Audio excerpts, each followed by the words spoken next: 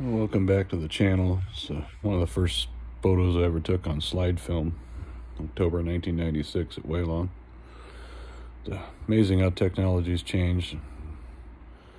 Going from film to digital, and here I am making a video on my cell phone.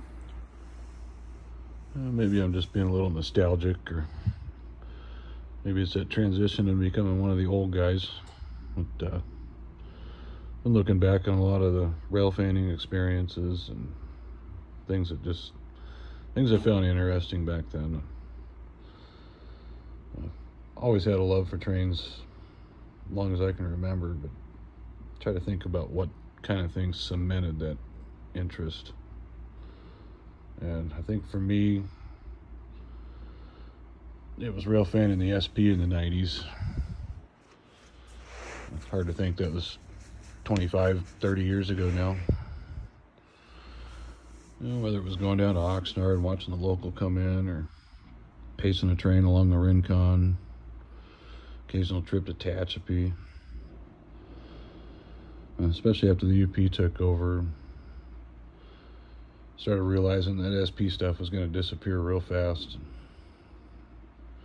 It took a while, but there's hardly any of it left now. But uh, so my, my goal is to photograph and watch as much of the SP as I could. But I think one of the biggest things I miss about rail fanning in that era, um, obviously other than SP locomotives running around, was uh, the sound. And standing up on Tehachapi and hearing that solid set of 645 equipped diesels coming up. You can hear them for 15, 20 minutes before you ever saw the train. A train would pass by, it would just rattle your bones. Uh, so trying to recreate that sound in model form.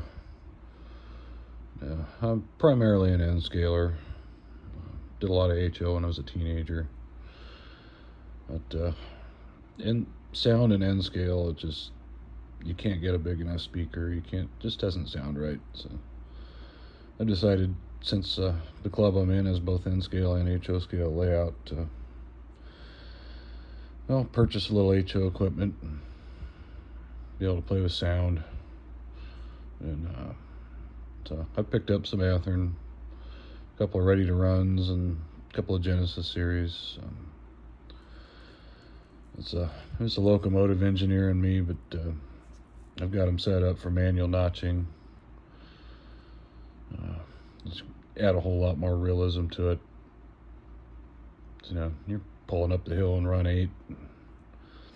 You're working the throttle, coming in and out of sags.